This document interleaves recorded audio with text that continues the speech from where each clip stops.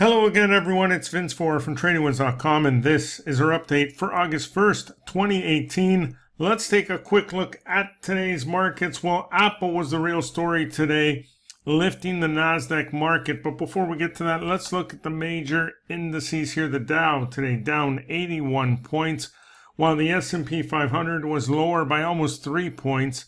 The NASDAQ, again with help from Apple, closing about 35 and a half points higher while the Russell gave up one and a half points.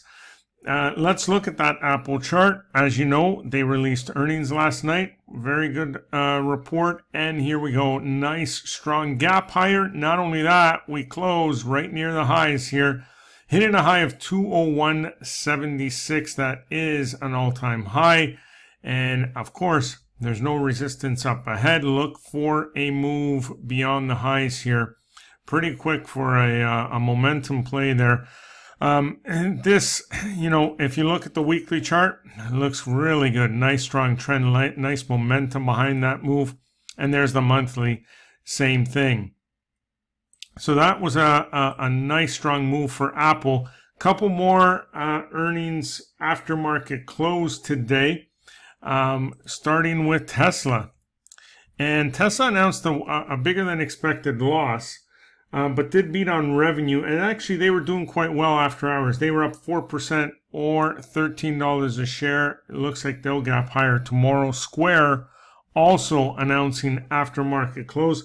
They actually beat on both earnings and revenue, but were trading lower. Go figure. Down 2% after market close. The bond market today also closing sharply lower. That took the yield on the 10 year note back up to 2.998. We are pretty much back to that 3% level. Crude closing sharply lower as well due to an increase, unexpected increase that is in U.S. Uh, crude stockpiles. And gold finished sharply lower as well, down a little over eight points. This after the Federal Reserve decided to keep rates unchanged, but they did mention that the economy was very strong and may have to uh, uh, continue uh, raising rates. We fully expect a rate hike next month uh, at their September meeting. Okay, that's about it for now. Enjoy the rest of your day, and we will see you on our next update.